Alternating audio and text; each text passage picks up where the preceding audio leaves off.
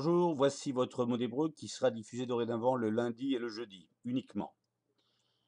Mumlatz, il est recommandé. Mumlatz le'achzik et aterufa hazot bamekarer. Il est recommandé de garder ce médicament dans le réfrigérateur.